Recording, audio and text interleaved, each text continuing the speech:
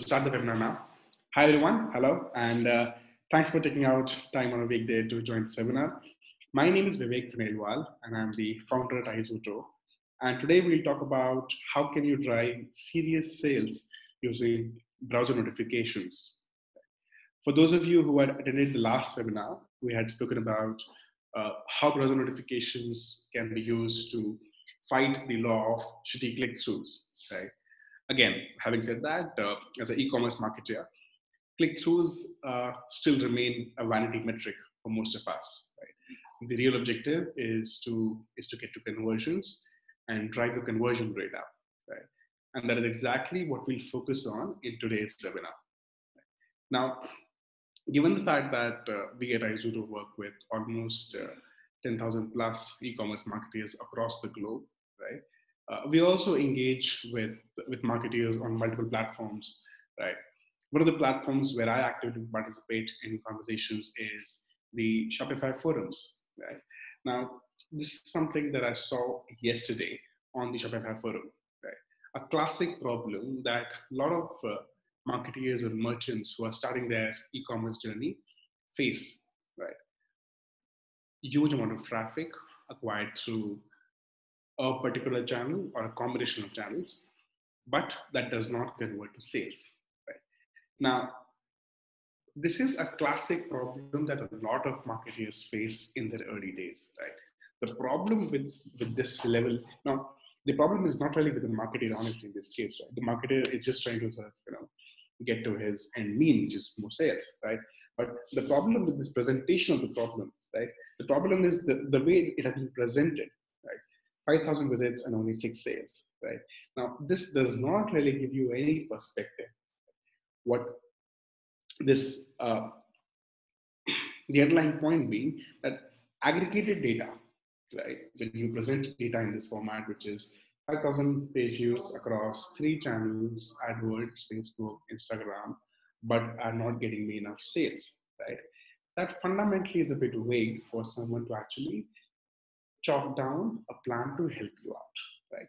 These data, aggregate data generally creates strong false positives or false negatives, right? And leads to certain strong assumptions while you're trying to solve a problem statement, right?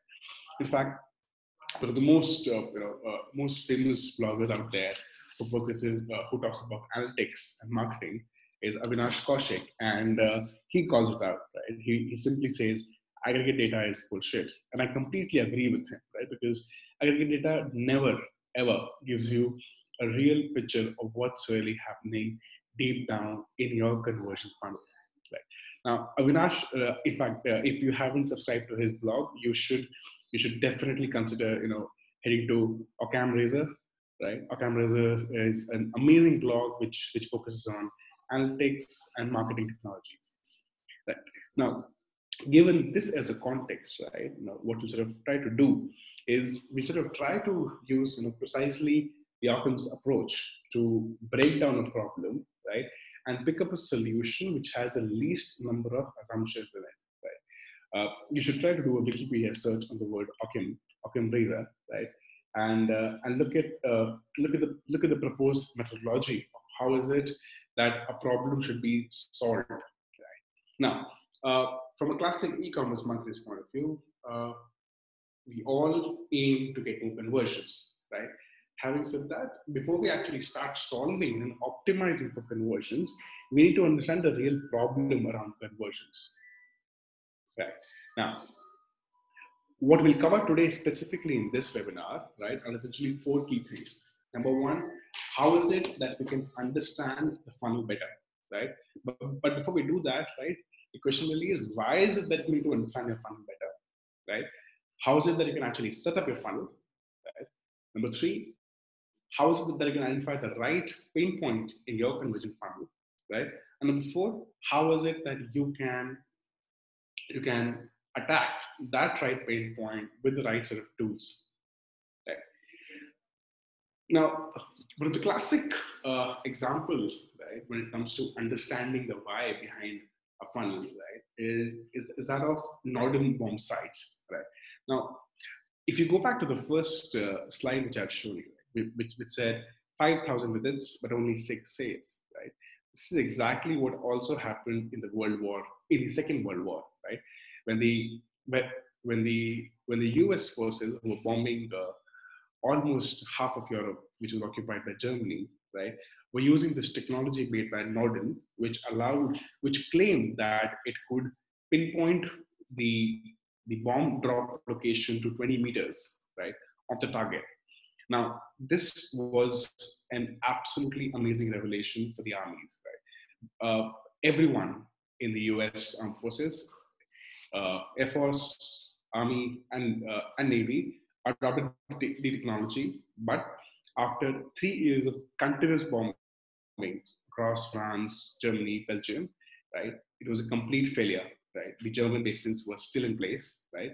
Now, the challenge really which came out was that, right, that uh, not an oversight, Norden essentially made a big assumption while he was making his formula, which calculated the drop location and the drop timing, Right? That formula did not take into consideration the height, appropriate height. That formula did not take into consideration the wind moment, right? And there was certain and there were certain strong assumptions made, right? Because of which it was an absolute failure.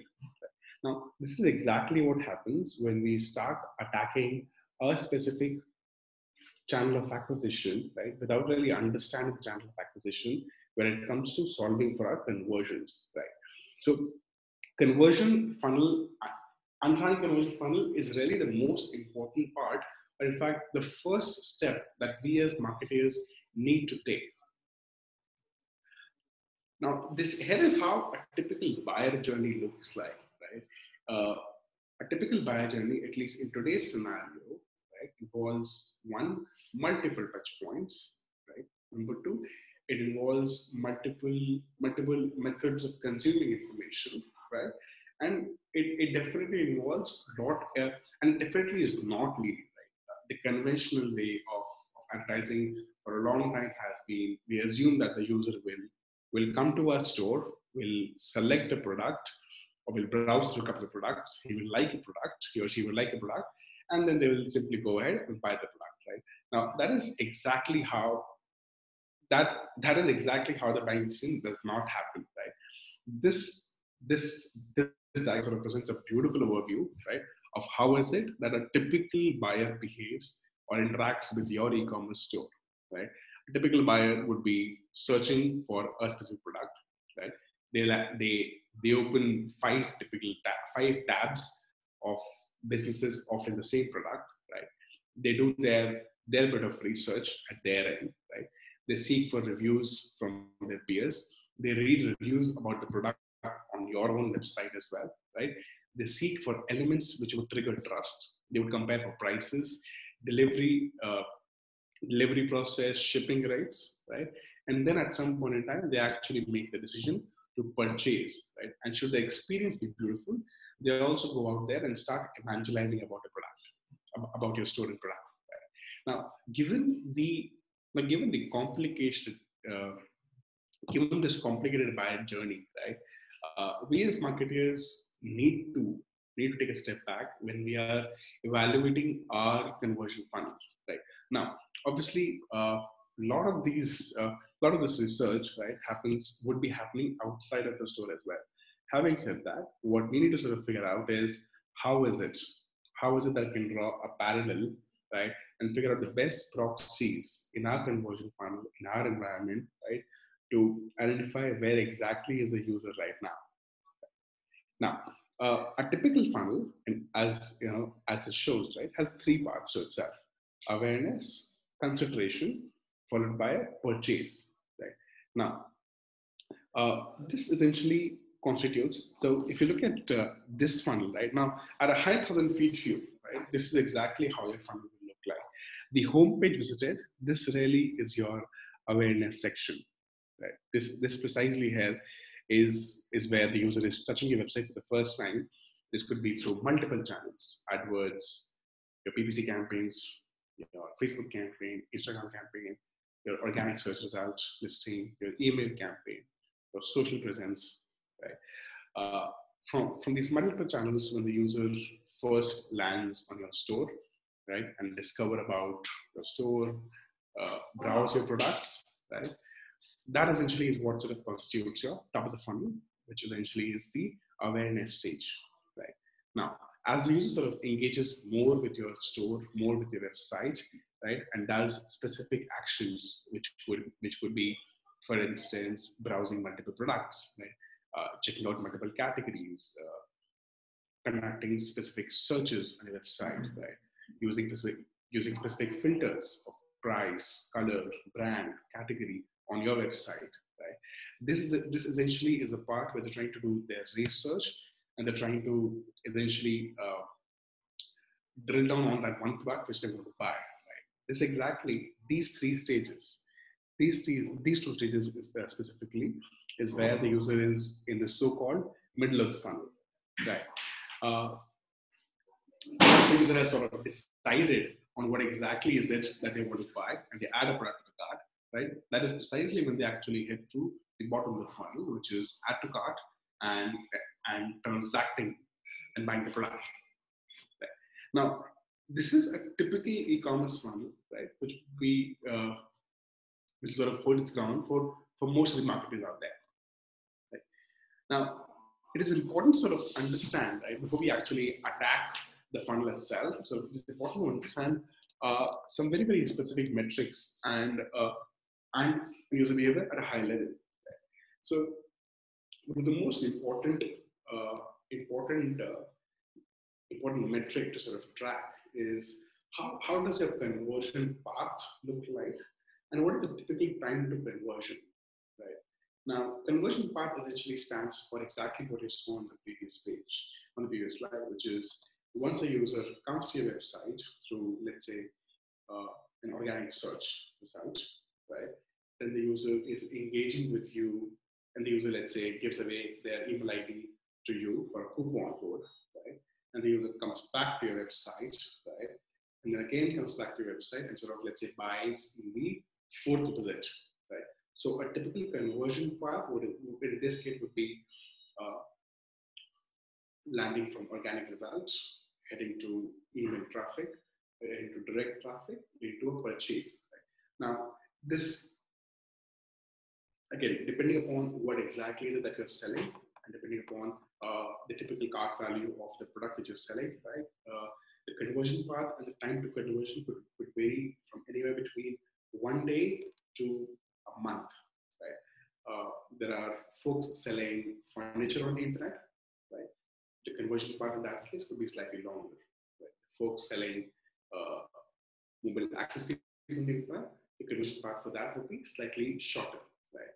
Uh, this varies, of course, on a store by store basis. This varies, of course, on a category by category basis. Right? Important to sort of understand because this will really help us decide the right strategy while we are talking about our communication plan. Number two, understanding the acquisition channels, right?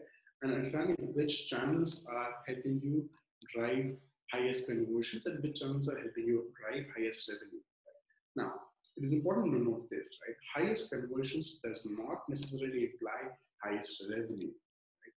For instance, Google search could be driving highest number of conversions for you, right?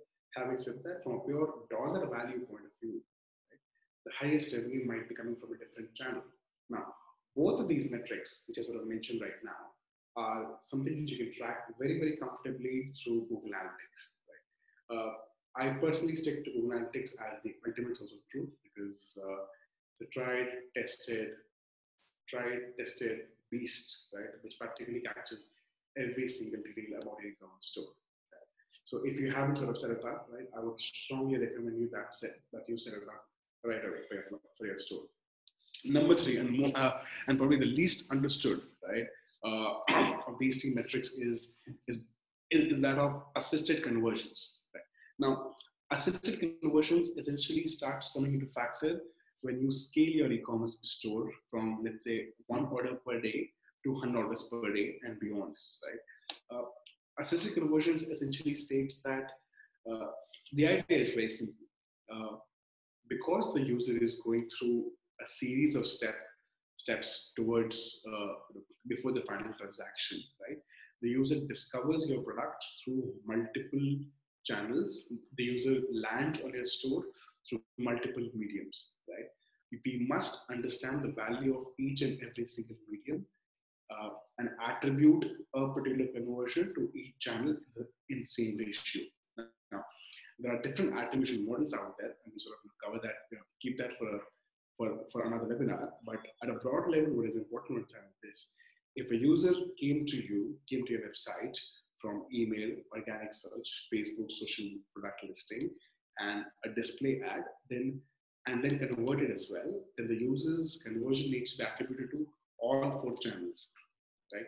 The attribution percentage might vary across these four channels, but all these four channels at some level contribute uh, quantifiably to your conversions, right? And there are numerous case studies out there, right, wherein brands which have shut down, let's say, for example, their display campaigns, have seen a drastic result, drastic impact in their conversions because display typically is, is driven, uh, display typically is driven as a branding exercise, right?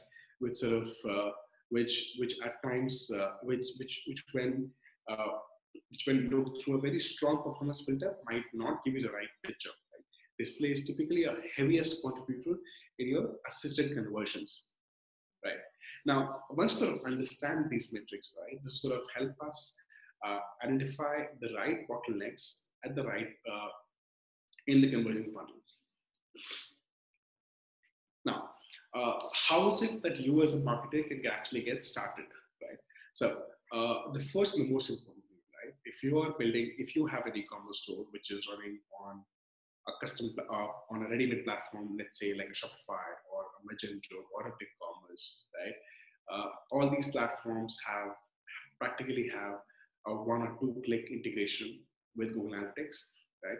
You could set up your Google Analytics real, real quick, right? Uh, if you're these platforms, we'll actually be sharing uh, specific guides for integration of Google Analytics uh, over an email after the webinar as well, right? Uh, number two, if you are if, if you're new to Google Analytics and sort of uh, haven't really you know delved deep, right? Uh, there is an amazing course on the Google Analytics Academy which talks about how can GA be used for e-commerce specifically, right? We'll share a link of that course as well with you, right? And number three would be uh, setting up specific experiments and reviews, review process while you are uh, while you're crafting your communication strategy, right? Uh, what we sort of seen over a period of time uh, for the past, you know, few uh, past 20 months of working with marketers is that uh, there is a very clear while while marketers pick up channels to try out, right, they don't really put down those experiments on paper, right, because of which uh, the accountability and attribution goes for a toss. We would sort of strongly recommend you to set up a very clear experiment tracking and review process for you to figure out what is it that is working and what is that is not working, right. Uh, we have ready template for this as well, and of you know, share that as well with, your, with, uh, with all of you who have registered the webinar as well. Right. Now, given that you have, uh, and, and assumption I'll make from my side is that all of you have a level of understanding of, of Google Analytics and have set up your e-commerce uh, store, e-commerce analytics on GA already so far. Now, uh, we've typically seen three types of challenges across e-commerce stores that you sort of dealt with so far, right? Uh, one of the most uh, yeah, uh, we've, we've seen, uh, and the challenges sort of vary across the funnel, right? Uh, this could be at the bottom of the funnel, which is BOFU, right? So, and these would typically be issues with either your cart abandonment process, your checkout process, your payment gateway issues, right? Uh, this could involve issues at a UX level, at a design level, at a process flow level, right? Or this could you know, simply mean that you're not doing enough of retargeting as well, right? The solutions obviously are secondary. The key is to sort of figure out what exactly is it that is leaking in your conversion funnel. Right. Uh, second problem which I've seen very clearly is uh, is people not able to understand whether the leakage is at uh, so understand leakages at the middle of the funnel, right? More than often, right? Uh, while let's say the e-commerce store is converting at, at a fantastic 3% conversion rate, right? uh, people come up with statements like, I have 10,000 visitors, but I'm only getting 10 sales, right? Now the challenge might not, not now the solution this problem might not really be retargeting, right?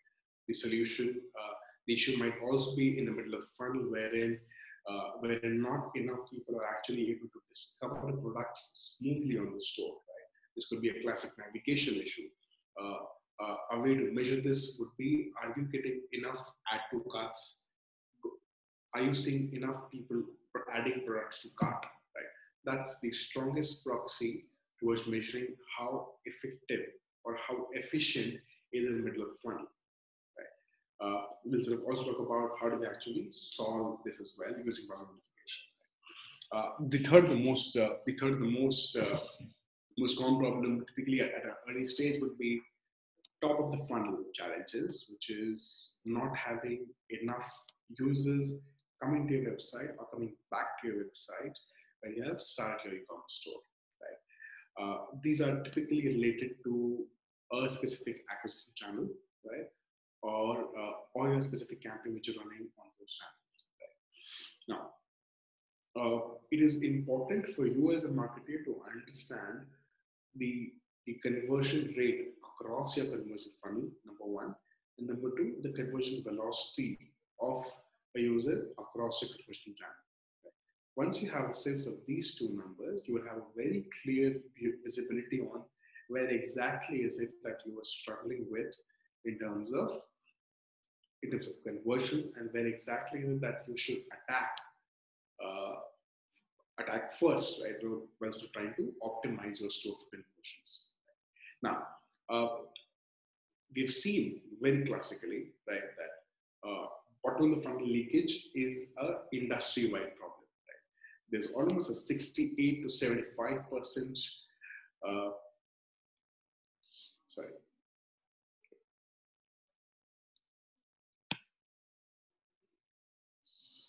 Okay, yeah. So you've seen that there's a classic 68 to 75 percent people who have abandoned uh, who abandon shopping carts and never come back. Right now, yeah, right. So,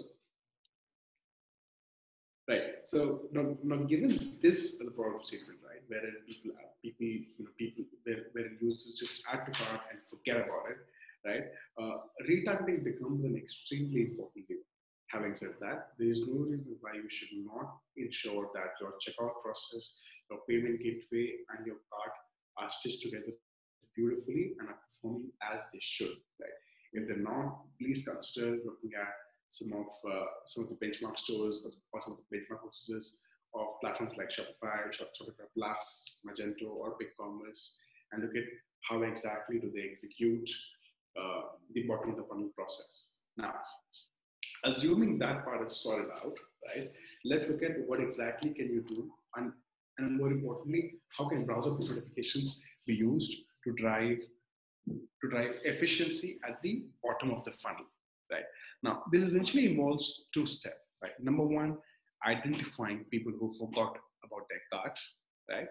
Number two, reaching out to them, identifying the right time to reach out to these customers, to these users, right? And number three, reaching out to these users with a very, very precise communication, laser, laser targeted, laser focused, right?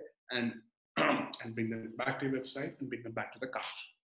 Now, bottom of the funnel campaigns or bottom of uh, or notification targeting users at the bottom of the funnel essentially are a function of three things. Right now, these are from point of view of just uh, from point of view of identifying the right users? Uh, it is important to understand three levers, right? Because they will sort of dictate the efficiency of your retargeting campaign. Number one, right? When was the cart abandoned? Right? Or in simpler words, the recency of a cart. Right? If the cart was abandoned two hours ago, six hours ago, one day ago, seven days ago, or, or one month ago, right? If you're selling, for example, cars on the internet, right? Uh, expecting someone to buy a car in a day would be very unfair, right? That is why executing a retargeting campaign for a car in a day might not really make sense. Having said that, if you're selling t-shirts, right, it would definitely make sense to execute your retargeting campaign within a couple of hours. Right? There are, in fact, uh, there are there are uh, retargeting solutions out there, such as AdRoll and Criteo, which literally trigger retargeting campaigns in 20 minutes flat out as well. So it is important to understand what is it that you're selling, right? What is it? What is the worth of the product which you're trying to sell, right? To sort of to sort of decide the free uh, the timing of a retargeting campaign as well. Now, also an important thing to sort of note and understand is this, right? Uh, whenever the efficiency of a retargeting campaign is also related to how how soon do you actually touch base with the user, right, and try to bring them back to the cart. Right? Now, from pure, uh, uh, so, and this could be, uh, and, and, this is only a function of how efficient is your tool or uh, or the medium which you're using in terms of communication, right? And this is exactly where browser notifications have a have a have a far superior performance advantage over email or display ads. Right? Email because emails have horrendous open rates, right? And banner ads because banner ads are fundamentally plagued by you as an end user being banner blind, or and uh, and the fact that you as an end user uh, would very well be using an ad blocker which sort of completely restricts you from even looking at the ads in the first place. Now, second lever, which we have seen a lot of marketers use very, very efficiently, is the value of the card. Right? A lot of times, uh, customers, uh, as users, uh, adding multiple products to cart, right, have a far higher intent towards towards buying as compared to users adding only one product to cart. Right? The overall cart value itself will sort of uh, will can be used as a very strong proxy, while deciding the priority of a retargeting campaign. Right? So definitely using cart value as a filter would be a great help as well. Number three would be the category or the brand of the product which they have added to cart. Right? Now, if you're running a marketplace, for instance, right? So uh, let's consider example of uh, of a fashion apparel uh, e-commerce store, right? Marketplace store, right? Who's selling uh, products products of multiple brands in their store. Now, because certain users have affinity to certain brands, right? It is definitely important to sort of use that brand name or category name while communicating with the end user, right? This sort of can be used to make your retargeting campaign itself or, uh, the communication uh, and the notification itself far more impactful as well. Now, uh, all these three levels, combine. you know, you you you can design your retargeting campaign right? Either with one of these levers, right, or all of these levers combined, right? Depends completely on the sophistication which you're looking at, right? And depends depends also on the size of audience that you're looking at, right? It might not make sense to use all levers if you end up with only one user in your audience of retargeting, right? You might want to sort of uh, hit a number which is statistically significant to sort of give you a sense of whether this experiment was successful or not successful as well, right? Uh, moving on, right? The next step, right, from a classic retargeting point of view, and, and something which, which already happens at a display level is, is personalization of the communication itself, right? So number one, as I said, was the, so the first step in making a butler funnel more efficient was to identify the right user who has abandoned the cart segmenting that user on the basis of the cart value, the recency of the cart, and uh, and the category, the brand which the user has actually abandoned. Right. The next level could really be focusing on on on literally personalizing every single element of the notification, right, and ensuring that the user sees exactly what is it that they had abandoned in the first place. Right. Personalization has a flat 60 to 70% impact on CTRs, right? We've seen this at scale across across brands, across stores, right? Across geographies, right? This is something which is which, which is absolutely universal, right? The moment you start personalizing, the moment you start making notifications contextual, right? Users start responding to it far more beautifully, right?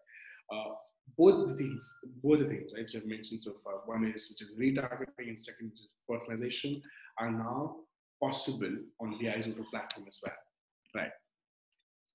Uh, now, this is essentially where retargeting and personalization sort of can be used to make your bottom of funnel more efficient, right?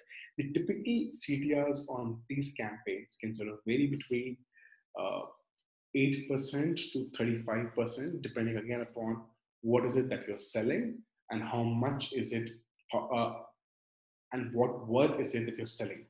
Right? Uh, now, moving on to the middle of the funnel. Right? Now, middle of the funnel typically is plagued by, by classic inefficiencies such as uh, research, right? For instance, if a user is considering purchasing a, a guitar, right? Now, artists would definitely uh, a musical instrument is a very uh, is a very uh, is a very expensive uh, very expensive investment for a user's part, right? And they would definitely want to sort of research research more and more and more and more about the product, about the brand, and about your store, right? Now, this would what this essentially translates into is a longer purchase cycle, right? And this is exactly where middle of the funnel campaigns or notifications targeting these users can help you increase their velocity within the funnel itself. Right now, there are two ways of sort of broadly identifying users who are in the middle of the funnel. right. Uh, from point of view of identification of these users, right, uh, there are three to four proxies which you can use, right? Number one is uh, how many times has a user specifically visited a product page or a category page, right? This gives you a very clear indication of their interests towards or interest or affinity towards a specific category, towards a specific brand, and towards a specific product line, right? Uh, middle funnel campaigns essentially can be designed around the product itself, which was viewed but abandoned, right? Abandoning, abandoning here would mean the user did not add to cart, not add a product to the cart, right? So the objective of these campaigns would really be driving the user to add products or add more and more products to their cart so that they sort of move move uh, within the funnel and go down right?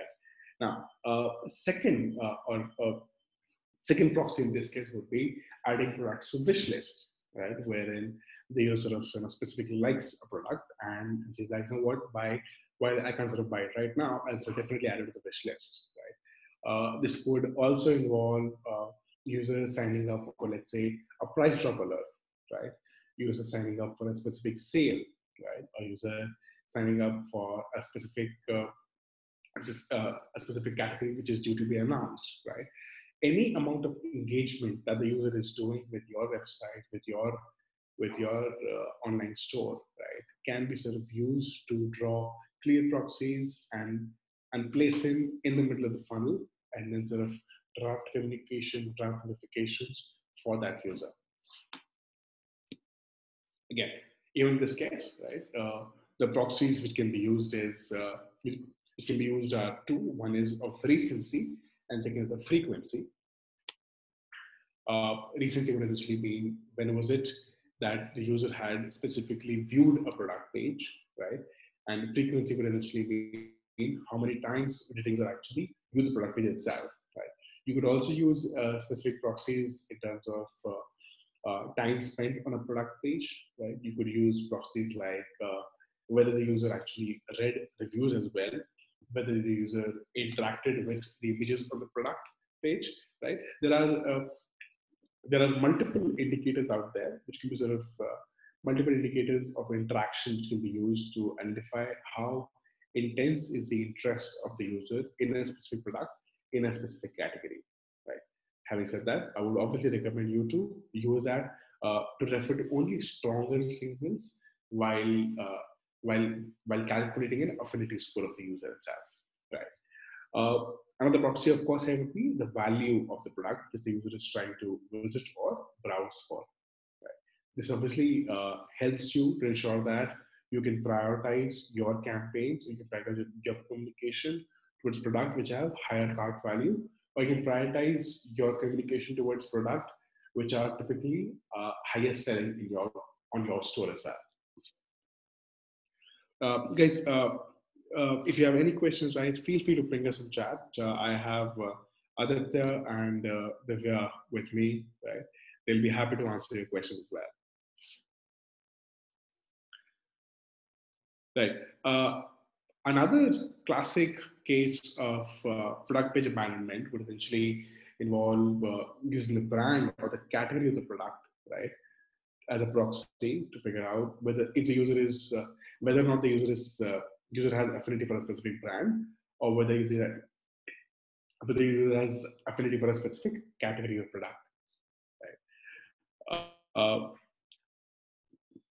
from from from middle of the funnel campaign point of view, you could also consider uh, using category uh, engagement of the user on the category page as well as a strong proxy or, or a strong indicator to gauge what the user's interest in, right? For instance, if the user is looking at uh, at very very specific filters on a category page, let's say of price or color or brand, right? It gives you a very clear sense of their sensitivity right, which could be then used while drafting the communication for these for these end users specifically, right? Uh, price filters typically are the most frequently used filters and sort of give you a very clear sense of the user's uh, user's purchasing power, right? So while you're setting up your your instrumentation in Google Analytics or a, or a product like iZooto, do use these filters as well. Do pass on this data as well into those, into those uh, platforms that gives you a very clear sense of what exactly is it that your users are sensitive about. Right? Because you can sort of use this information to create clear cohorts, clear segments and buckets on the basis of their purchasing power. Uh, kind uh, after middle funnel, you can obviously very very clearly attack on top of the funnel campaigns, right? Uh, wherein uh, wherein the focus is to identify or, or use uh, or refer to vanity metrics such as bounce rate and time spent on the website, right? And ensure that you bring back those users, right, who have, have either gone dormant, right, or, or simply bounced either from the website after landing onto your homepage or discovery page, right? Now, top of the funnel campaigns or top or, or notification for users at top of the funnel are essentially focused on only one and one thing, right? Number one, getting them back on the website, right? That's the single most important objective of top of the funnel notification campaigns, right?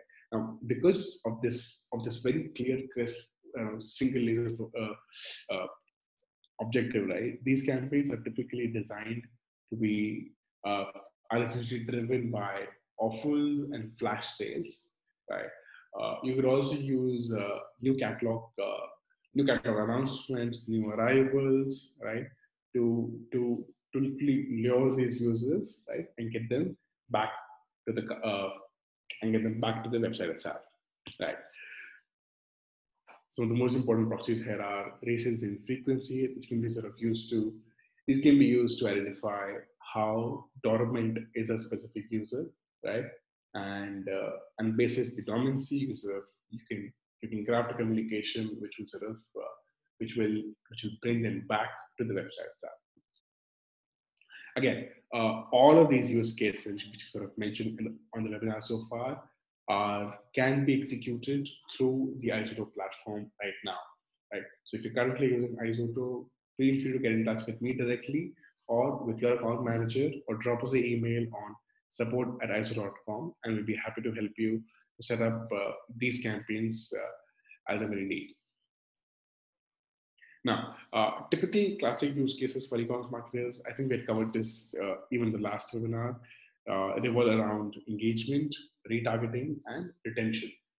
retention is a topic which we sort of haven't covered in this specific part of the webinar because retention is a different ballgame altogether, which involves uh, it involves crafting a strong customer experience journey post their first transaction, right? This would typically involve communication around upselling or recommendations of product. This would typically involve uh, creating strong loyalty programs, right? Uh, and hence, sort you know, uh, hence, and hence out of scope uh, of our current discussion right now. Uh, here's how you know uh, typical retargeting campaigns can be crafted and executed on iZooto specifically, right? Uh, this, for example, this campaign, right, which is running right on Macy's, will focus on people who have abandoned the cart in the past 24 hours, right? And this, this obviously is a is a personalized notification which which literally pushes out the exact image that the user had viewed on their cart, uh, or because the user had added to cart and abandoned the cart.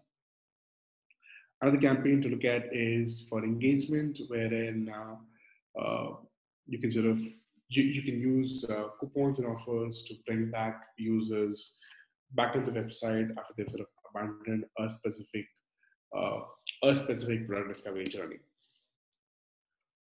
Apart from this, uh, from a retention point of view, you, you, you, can definitely focus on users who have a definite buying behavior, right? And uh, uh and use their inactivity as an indicator to trigger a notification uh, with uh, backed by either a coupon or a discount or a shipping uh, uh, or a shipping waiver to sort of uh, them back to your website to your store and drive them uh, and push them for a transaction. Yeah, well, so so this sort of covers you know pretty much everything that you sort of uh, from a from a conversion optimization point of view using push notifications, right? Uh, should you have any questions, I'll be happy to answer them as well right now.